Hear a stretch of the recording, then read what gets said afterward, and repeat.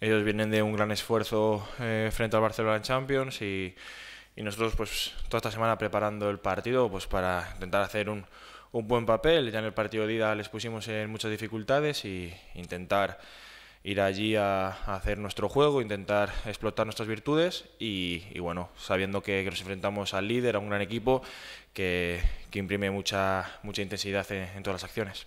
El que me tiene que mirar con lupa es, es Marcelino, que es mi mister, es el que ha confiado en mí en verano y, creo que, esa confianza se la, estoy devolviendo dentro del campo. Yo creo que hasta el 30 de junio no pienso en otra cosa que en el Villarreal y, es en lo que me quiero centrar. A partir de ahí, pues eh, ya, ya veremos qué sucede.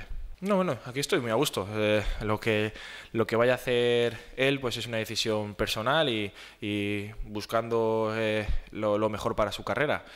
Eh, para mí lo mejor fue, fue salir, buscar minutos en otro sitio y, ese sitio fue el Villarreal, el que apostó por mí en un momento de mi carrera complicado y, creo que, bueno, que he vuelto a, ser el mismo con, mucha confianza y, bueno, tratando de hacer las cosas lo mejor posible.